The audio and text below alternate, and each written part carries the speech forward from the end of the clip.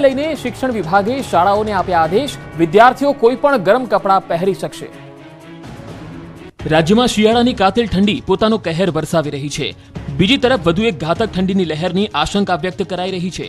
એવામાં રાજ્યના શિક્ષણ વિભાગે ઘાતક ઠંડીને ધ્યાનમાં રાખી મહત્વપૂર્ણ નિર્ણય લીધો છે. નિર્ણય અંતર્ગત શાળાઓ હવે વિદ્યાર્થીઓને યુનિફોર્મ પ્રમાણે જ સ્વેટર પહેરવાની ફરજ પાડી શકશે નહીં. અગાઉ શાળાઓ દ્વારા બાળકોને માત્ર યુનિફોર્મ સંલગ્ન સ્વેટર કે ગરમ કપડાં પહેરવા ફરજ પાડવામાં આવતી. જેના કારણે શિક્ષણ વિભાગે પરિપત્ર દ્વારા શાળાઓને આદેશ કરતા વિદ્યાર્થીઓ હવેથી ઠંડીથી રક્ષણ મેળવવા માટે કોઈ પણ ગરમ કપડાં પહેરી શકશે. સરકારના આ નિર્ણયને વાલીઓએ પણ આવકારતા આભાર વ્યક્ત કર્યો. વધુમાં કાતિલ ઠંડીને ધ્યાનમાં રાખતા શાળાઓના સમયમાં ફેરફાર કરવાની પણ છૂટ અપાઈ છે. જેના આધારે શાળાઓ ઠંડીની તીવ્રતાના આધારે શાળાના સમયમાં ફેરફાર કરી શકશે. સમય મોડો કરવામાં આવતા વિદ્યાર્થીઓને પણ ઠંડીથી આરામ મળશે. વિદ્યાર્થિનીના મોત બાદ જાગ્યું રાજકોટ શિક્ષણ તંત્ર. સવારની શાળાઓ એક કલાક મોડેથી શરૂ કરવાના નિયમનો અમલ શરૂ. ઠંડી દરમિયાન રાજકોટમાં સવારની શાળાઓ વહેલી શરૂ કરાશે તો થશે કાર્યવાહી.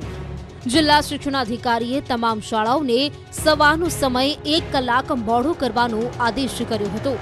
પરંતુ કેટલીક શાળાઓ આ નિયમનું પાલન ન કરતા હોવાનું જણાતા જિલ્લા શિક્ષણ તંત્રએ લાલ આંખ કરી. અને નિયમના ઉલ્લંઘન બદલ શાળા વિરુદ્ધ એફઆઈઆર નોંધવા સુધીની તૈયારી ડીઈઓ બીએસ કૈલાએ દર્શાવી. બીજી તરફ સ્કૂલના સમયમાં ફેરફારના નિર્ણયને વાલીઓએ આવકાર્યો. વાલીઓએ કહ્યું કે સ્કૂલનો સમય એક કલાક મોડું થવાથી વાલીઓ અને વિદ્યાર્થીઓને ઘણી રાહત થશે. વાલીઓએ કહ્યું કે અગાઉ આ નિર્ણય ફરજિયાત કરવામાં આવ્યો હોત તો શક્ય છે કે બાળકીનો જીવ બચી ગયો હોત. એક દિવસ પહેલા જ જસાણી સ્કૂલમાં વિદ્યાર્થીનીનું ઠંડીને કારણે હાર્ટ એટેક આવતા મોત થયાના પરિવારના આરોપ બાદ ખળભળાટ મચ્યો છે.